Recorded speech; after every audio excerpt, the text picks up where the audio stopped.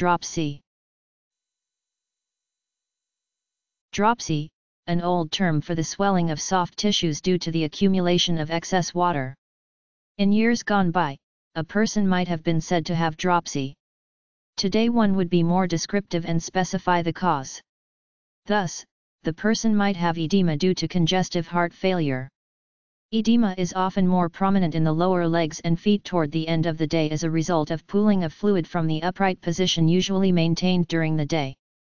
Upon awakening from sleeping, people can have swelling around the eyes referred to as periorbital edema.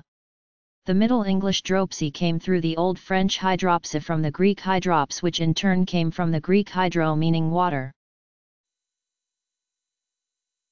D, R, O, P, S, Y. Dropsy